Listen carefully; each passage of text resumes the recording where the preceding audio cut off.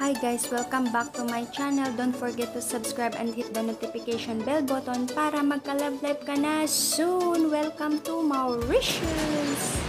Hey guys, yun yung mga birds na gumagawa ng heart lock figure. Ang galing po nilang gumawa.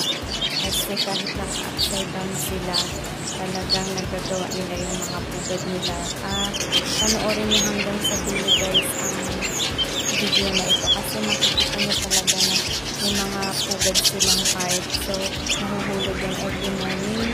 Ah, ang puno na yan ay malapit sa bahay namin din sa Malaysia sa Pilipinas. And then, sobrang ingay nila. Kaya na-curious ako sa dito. Sobrang ingay ng mga ibon. Siguro madami talaga sila sa puno. Tapos, paglabas ko guys, nako, grabe. Ang dami nga nila. Tapos, kulay dilaw sila guys. Usually, ganyan sila kulay dilaw. Sila yung uh, weaver yata ang tawag sa.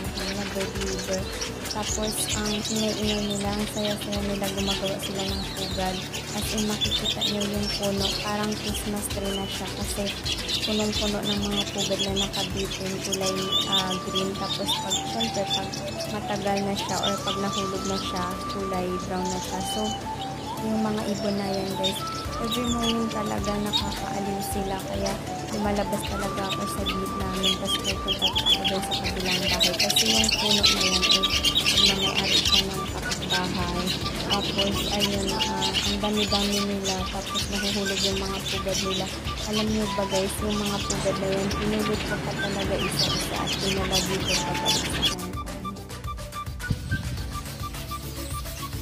Hello birds! Wow, ang dami nila. You see that birds? Ah. Oh, it's so cute. Ang cute ng pugad nila. Na heart shape. Heart shape na pugad. you see that? Yellow birds.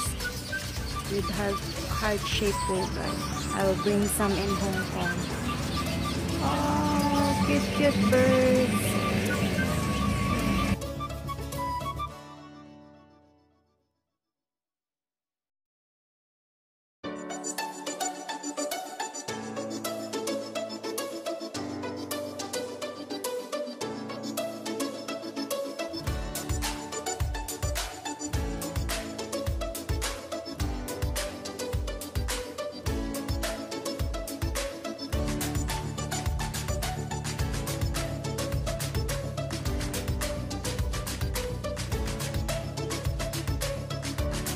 So, ang mga puno guys na may mga uh, ibon, ganyan siya.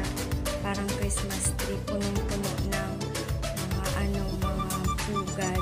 Bawat sanga niya merong pugad. Nakakatuwa. Kaya aliw na aliw ako talagang kinukunan ko ng picture guys kasi gusto kong ipakita din dito sa mga taga Hong Kong at sa iba na na-experience kong makakita ng mga ibon na kulay dilaw at gumagawa sila ng pink na pugad. Diba? Ang cute-cute tingnan. Dito hindi natin masyadong nakikita.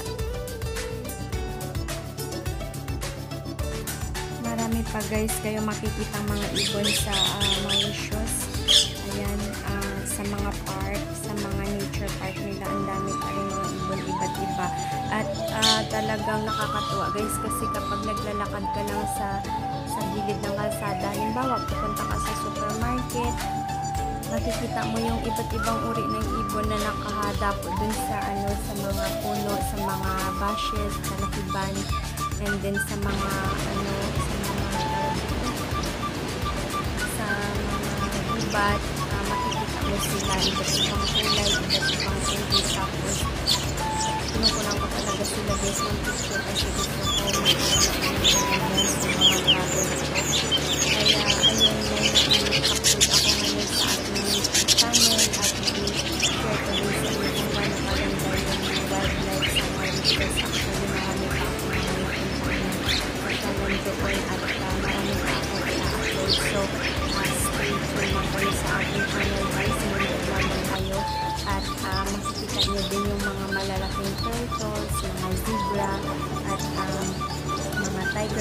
iba-iba pang mga hayop kasi nagpunta po kami sa isang uh, tinatawag nilang nature park and then ah, yun na nakita ko yung iba't ibang mga hayop doon sa kanilang bansa. So kung kung um, tatanong niyo po sa akin guys kung saan yung Mauritius, ang Mauritius po ay isang bansa na matatagpuan sa East Africa. So malapit na po siya sa Maldives and then yung katabi niya is yung Rodriguez saka ah, yung isa pa si Seychelles.